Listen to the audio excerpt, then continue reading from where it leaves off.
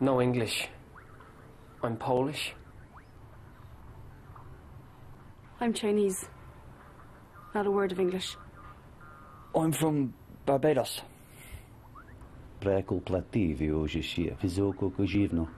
Farting chang piao. And they speak English in Barbados? Oh, yeah. TV license inspectors visit 18,000 homes and businesses every month.